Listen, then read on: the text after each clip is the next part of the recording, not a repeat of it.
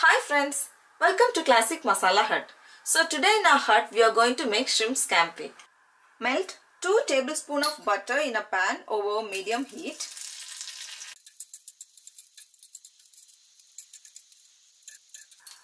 Now add 1 tablespoon of garlic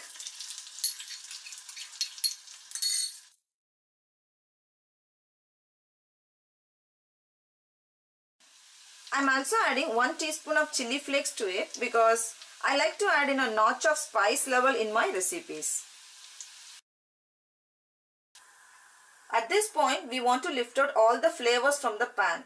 So traditionally this is done by adding some wine to the pan but if you prefer not to use alcohol you can just add a very little amount of water to it.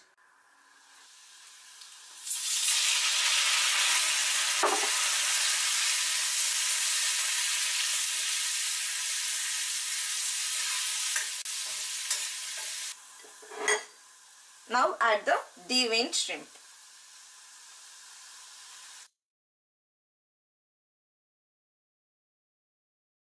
Add some salt.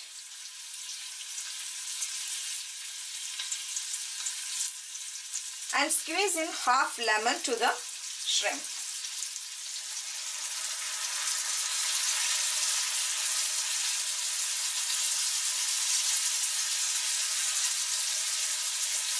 The lemon juice gives a real nice lively taste to the shrimp.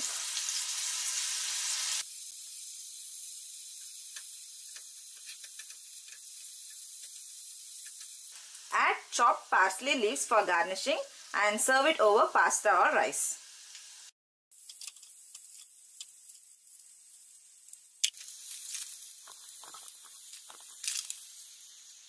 Thanks for watching and be sure to subscribe to our channel Classic Masala Hut. Spread the joy of cooking.